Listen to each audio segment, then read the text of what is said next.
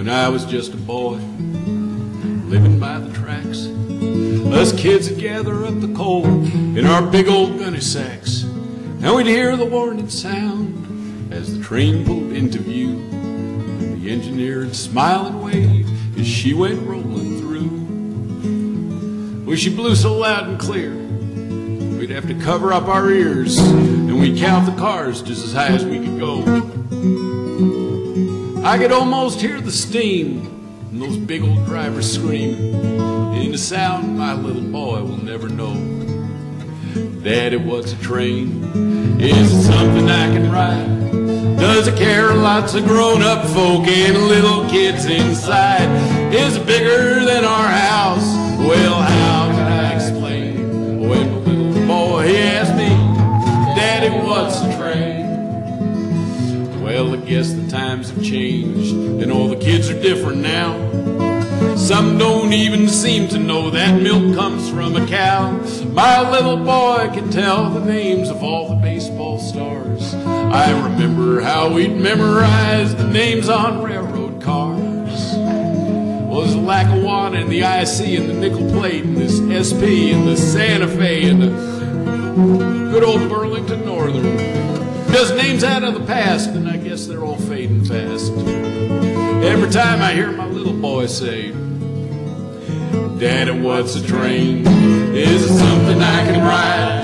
Does it carry lots of grown-up folk and little kids inside? Is it bigger than our house? Well, how can I explain when the little boy asked me, Daddy, what's a train?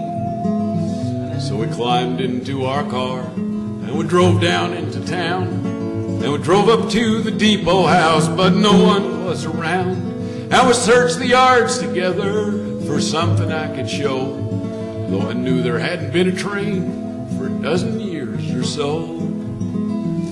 Well, all those things that I did when I was just a kid, how far away all those memories appear.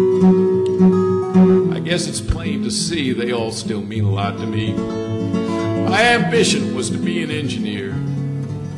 And it was a dream. Is it something I can ride? Does it carry lots of grown-up folk and little kids inside? Is it bigger than our house? Well, how can I explain when my little boy asked me, Daddy, what's a train? When my little boy asked me, Daddy, what's a train?